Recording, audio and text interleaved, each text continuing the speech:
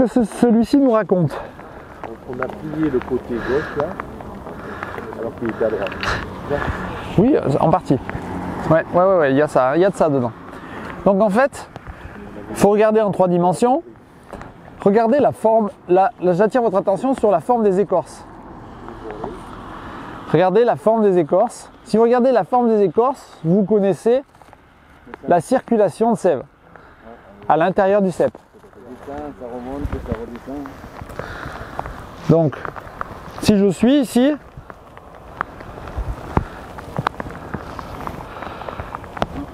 ah, et là je tombe sur des bois morts. Bon, des gros bois coupés. Mais quand je regarde ici, on se pose la question est-ce que ça passe de là à là? Probablement pas. Ça fait, ça fait quelque chose comme ça. Hein? Si on regarde de ce côté d'ailleurs, sur les anciennes écorces, ça c'est du bois mort. Mais là on voit bien que ça fait comme ça et comme ça. D'accord? De l'autre côté, là on a l'écorce, mais malgré tout, regardez ici, on a, un problème. hein.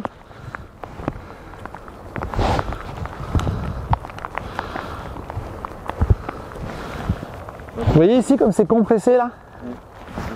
Et là après si on fait le tour, de nouveau on arrive ici. Bon. Ce que j'aimerais qu'on regarde, c'est est-ce que ça circule, comment ça circule de là à là en fait. hein.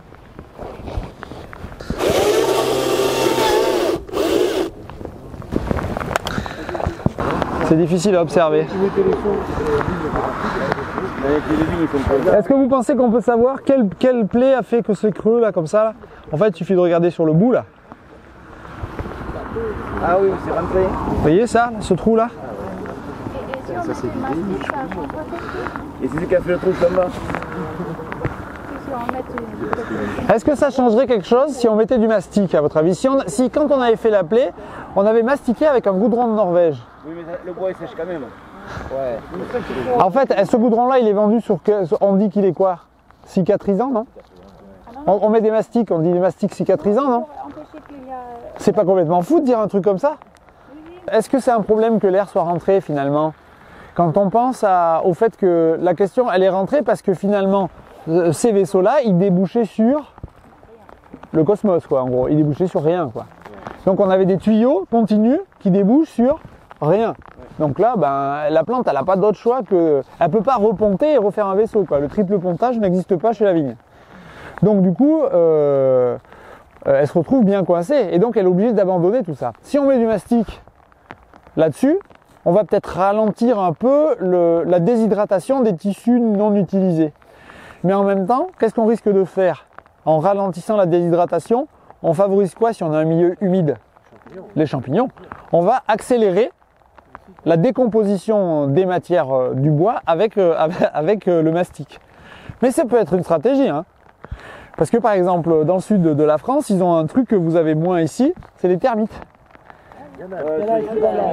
Vous en avez un peu. Euh.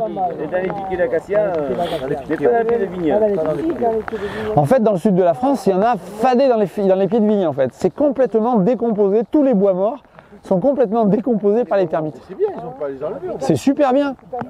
C'est super bien. Ça libère les flux de sève. En fait, ils font le travail de curtage, de libération des flux de sève, sans avoir de problème. Ils touchent pas le bois vivant. Donc, ils enlèvent le bois mort. C'est super bien. C'est hallucinant. hein. Là, c'est une colonie de fourmis. Donc, s'il y a des fourmis, il n'y a pas de termites. hein. Mais en fait, il n'y a pas que des fourmis. hein. Il, y avait, il y a des araignées, il y a des, euh, des perce-oreilles. euh. C'est un HLM. Euh, En fait, ce que je suis en train de, bah, de montrer là, en fait, finalement, c'est que quand il y a du bois mort, ça relance euh, la vie, en fait. Ça relance des spots pour vivre. La nature, elle a horreur du vide. Il n'y a trou dans la forêt. Bah oui. Donc en fait, euh, finalement, parce que je- petit à petit, je suis en train de vous dire que euh, l'ESCA est notre ami. Quoi. L'ESCA, c'est la, gra- la- la gradation des la gradation des sols par la décomposition des matières organiques. Que ça fasse mourir la plante, c'est possible.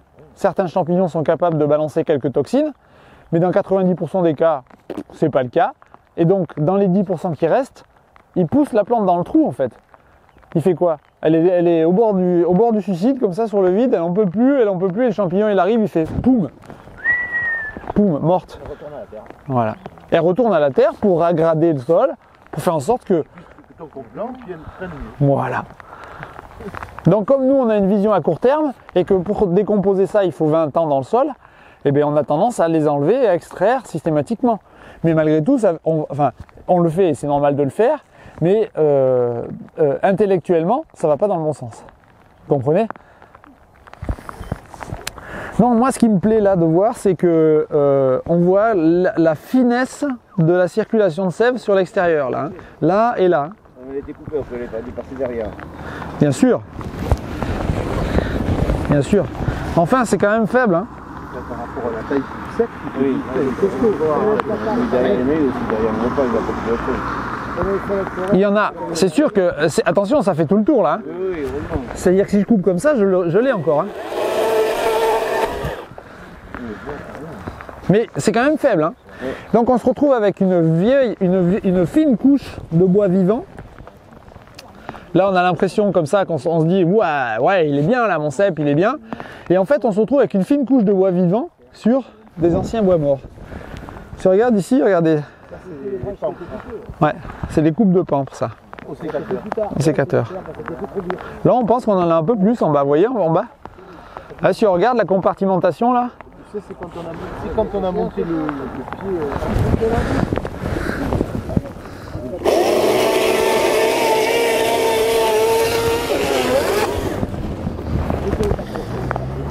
on pourrait faire un didgeridoo, je pense. Il est beau celui-là. Ouais, ce côté-là il est complètement mort là. hein. Vous voyez comme il est mort là. hein. On, voit, on le voit vivant, mais on, enfin on le voit encore sain, mais il n'est pas décomposé, mais il n'est pas vivant. Il n'est pas dynamique. Regardez celui-là, il est, celui-là est dynamique là. Donc si on regarde là, Donc, du coup, alors puisque ça continue comme ça, les racines sont dans le même état? Ah non. Ah ben regardons d'ailleurs, on n'a pas de pioche, mais il y a des fois où en fait il- il- c'est pas le cas. C'est-à-dire que là, vous voyez, on est, sous, on est au-dessus de la greffe.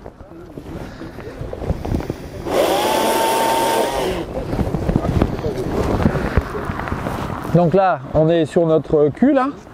Hein Donc avec euh, cette putréfaction. Et de l'autre côté, là, on est sur le porte-greffe. On est mieux, hein On est vraiment mieux. Donc ça veut dire quand même que le rond-point là, il joue un peu son rôle de protection du porte-greffe quand même. Tu aurais pu couper sur le greffé là. Ah oui, là c'était surgreffable là.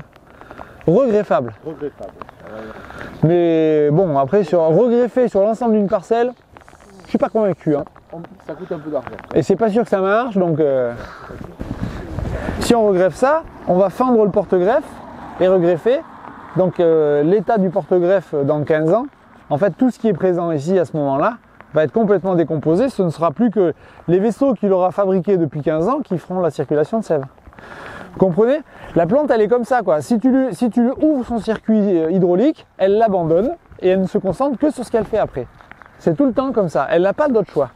Et quand euh, on entend certaines personnes qui disent oui, mais la vigne elle compartimente pas, ou la vigne elle ne recouvre pas ses plaies.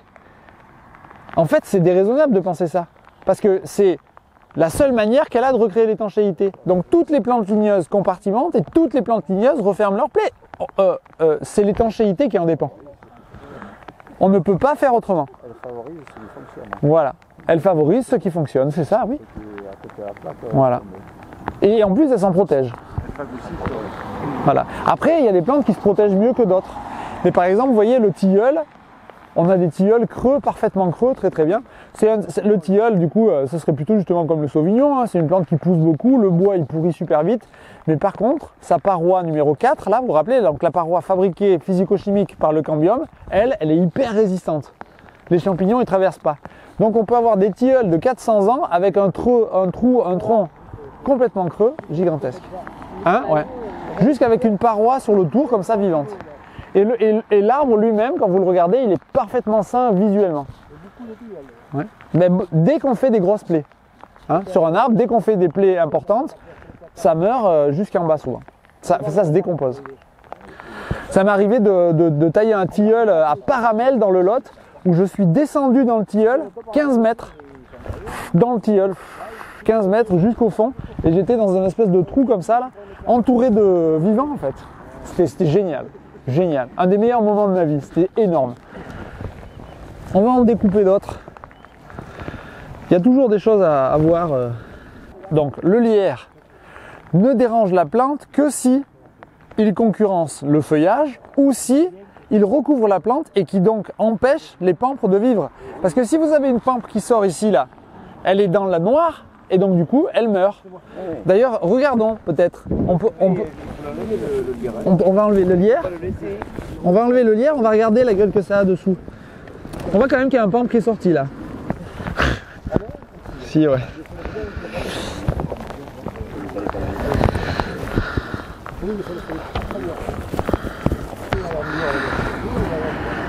On voit pas. Ce que j'espérais voir, c'était euh, plein de petits pampres morts. Ce que j'espérais voir, mais on le voit pas trop. Par contre, quand on regarde là, regardez. Je vais le couper là, voir.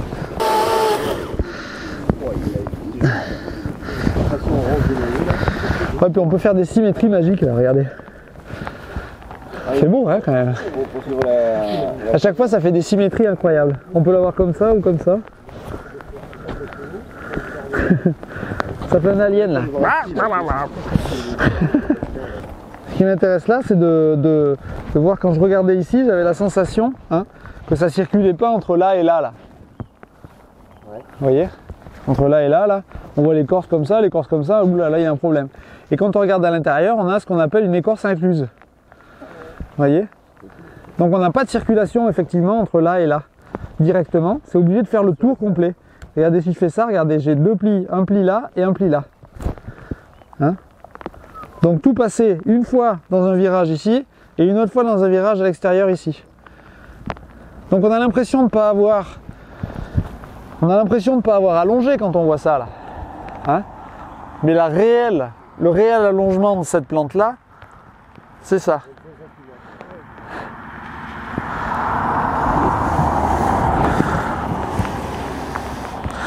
C'est assez visuel hein, quand même comme truc.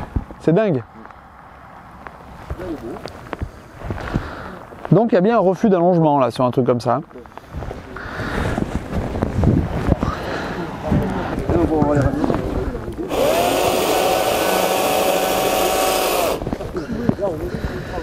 Là ce serait intéressant de voir que le porte-greffe, il y a un côté où il est euh, mort, un côté où il est vivant.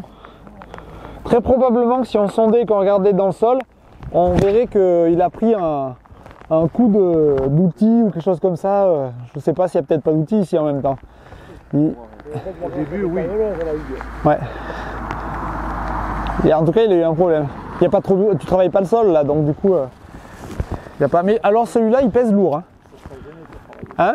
Ici, ça n'a jamais été travaillé. Ça n'a jamais été travaillé du sol. Ah ouais. Donc c'est peut-être pas ça. Ah ben, quand même, av- avant de lancer le truc, on regarde la circulation de sève. Hop, hop. Alors là, il y a quand même quelque chose d'un peu. euh, Il y, a, il y a quelque chose de litigieux là. hein. Vous voyez là le, le demi-tour ici là? Oui, ça, c'est encore un bras qui a été fait, qui n'était pas du Regardez là, celui-là aussi là. Vous voyez la le pincement là? Le pincement là? Et alors si on retourne de l'autre côté, si- si- s'il n'y a rien de l'autre côté, c'est bon. Hein? Parce que ça peut être pincé que d'un côté. Et de l'autre côté, on a quoi? Des chicots. Donc là, ça, euh, c'est presque sûr que c'est pas solide. hein. Non mais même, c'est pas solide du tout là. Alors, on- coupons-le. Là, vous allez voir, on va l'ouvrir. Celui-là, il pèse lourd. hein. On va, enfin, à peu près lourd. J'ai la sensation qu'il pèse pas trop lourd là, mais qu'il pèse bien lourd là, là. Ouais. Vous l'avez vu avant, mais bon.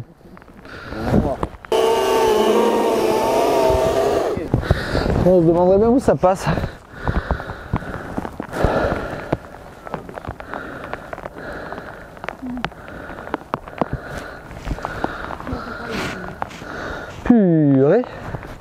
Ça c'est quand même la greffe là qu'il y a là. La greffe elle est là là. Entre ici là.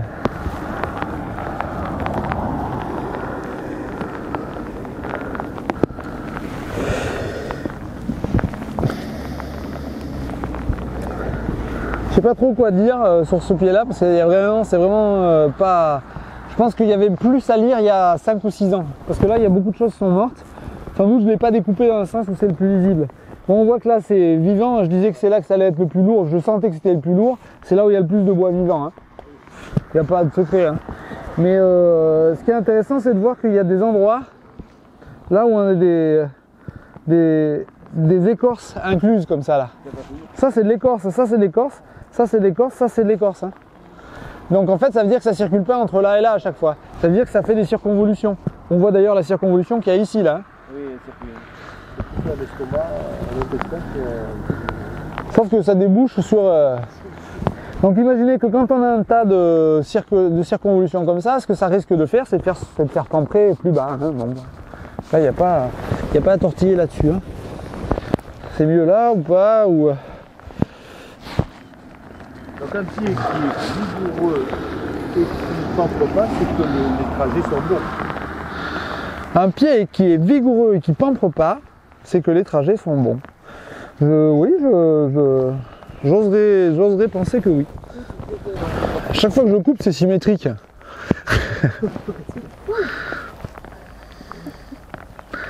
c'est presque beau, hein C'est pas symétrique tout à fait. Pas là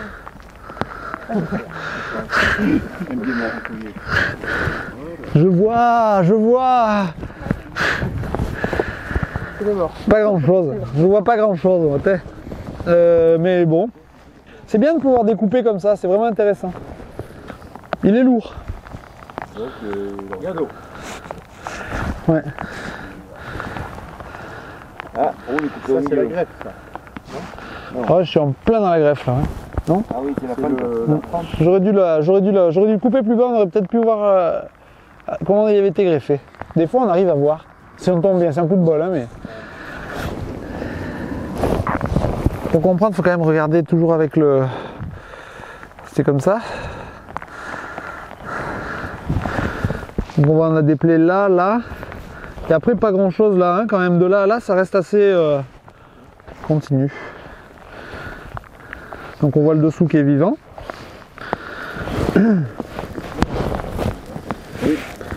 Et euh, tout ce qui est extérieur, hein. On voit que là, c'est pas descendu tant que ça là. c'est là où, où il y a les clés. Le dessous, là, j'ai pas fait commentaire. Par contre là, on s'aperçoit quand même que la suppression même de baguettes là, comme on a ici là, à chaque fois, regardez le, le trait là. C'est dingue, hein, parce que tout ce qui est à l'intérieur de ce trait là, c'est inopérant quoi. Là, on est en train de voir, de comprendre pourquoi tu avais peu de rendement hein, sur cette parcelle-là, de moins en moins, parce que probablement qu'il n'y avait pas de réserve en fait. hein. La plante, euh, était vraiment limitée dans sa capacité à relancer quelque chose de dynamique. C'est pas une histoire d'âge, hein. vous le voyez tous, vous avez tous des vieilles vignes qui sont capables de produire beaucoup. Il n'y a pas de vieillissement physiologique chez les plantes. À chaque fois que vous avez un nouveau sarment, à chaque fois que vous avez un nouveau sarment, vous avez un nouveau pied de vigne sur la vigne.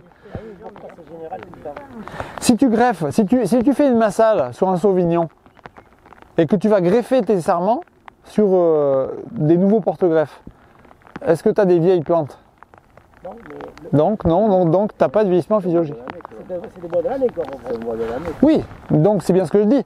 Pas de vieillissement physiologique. Je dis pas qu'il n'y a pas de problème à l'intérieur.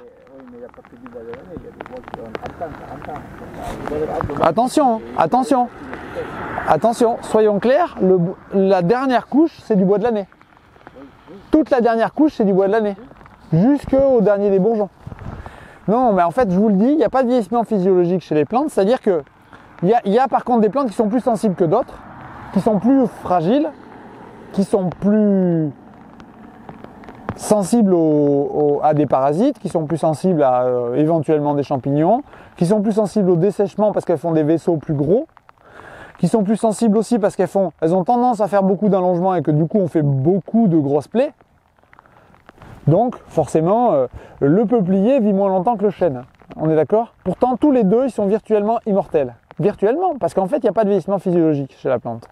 Pourtant, le peuplier se fait davantage attaquer que le chêne, on est d'accord? Il n'a pas la même stratégie. D'ailleurs, il se reproduit beaucoup plus facilement, le peuplier, que le chêne. Hein? C'est un arbre pionnier, alors que le chêne, c'est un arbre qui est capable de résister très longtemps et qui a besoin des autres pour pouvoir s'exprimer.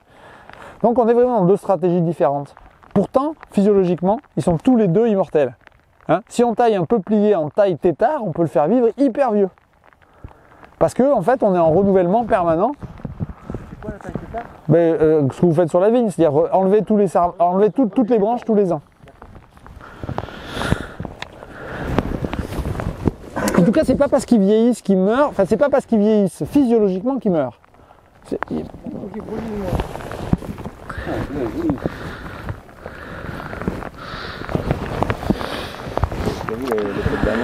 Est-ce qu'il est joli pour de vrai ou est-ce qu'il est joli pour l'instant?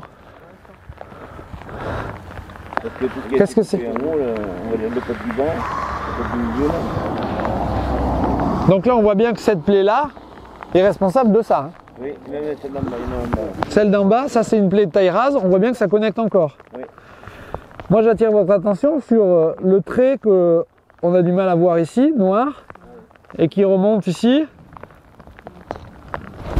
Et l'autre qui doit être ici, ou même peut-être à l'extérieur ici. En fait, on voit que la compartimentation est en train de se faire, mais qu'elle n'est pas totalement terminée. On a un dessèchement des vaisseaux qui est en train de se faire.